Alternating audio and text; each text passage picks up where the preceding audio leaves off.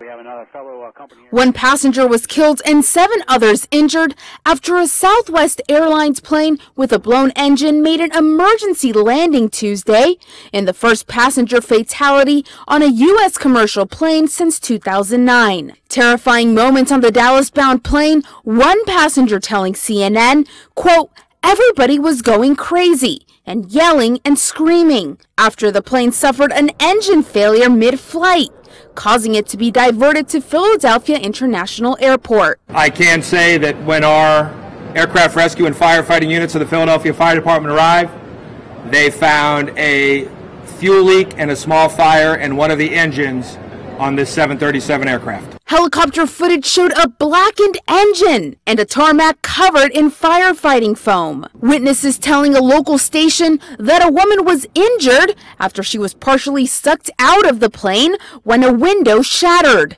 But officials did not confirm this. The plane carrying 143 passengers and five crew members had left from New York's LaGuardia Airport.